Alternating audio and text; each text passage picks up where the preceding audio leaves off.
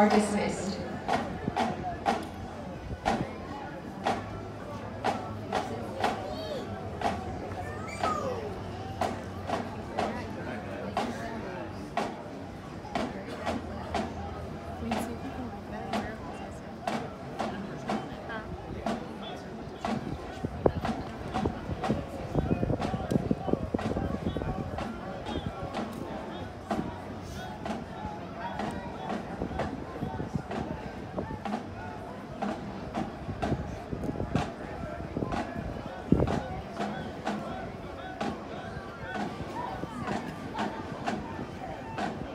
Now entering the retreat pad is the 737th Training Group's Drum and Bugle Corps from the 321st Training Squadron, Flight B347, and Commander's Excellence Flight B348, led by Technical Sergeant Brittany Skiles and Technical Sergeant Christina Soto.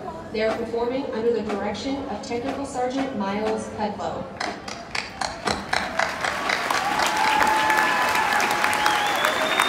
From the 320th Training Squadron, Flight 333, led by Master Sergeant Truth Clark.